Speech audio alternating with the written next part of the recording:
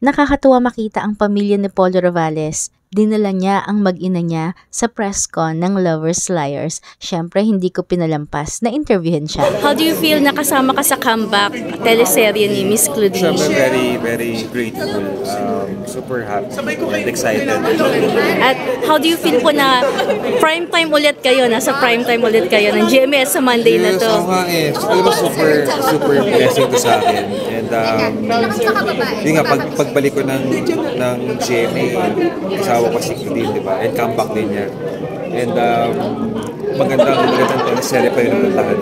Ah, Sir Polo, aside pa dun sa may gay aspect yung character niyo, ano pa yung challenging dito sa role mo?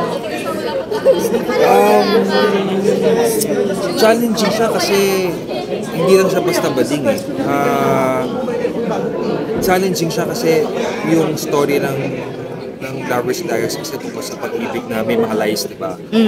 So, kailangan mo talagang kailangan mo talagang ano um, kailangan mo talagang maging maganda yung performance para may ate mo yung totoong nararamdaman ng roles namin.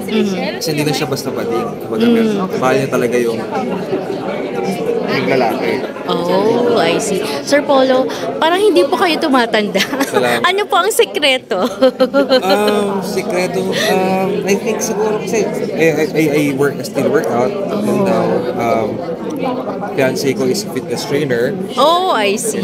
hi, say hi. Hi. And then I, I quit smoking.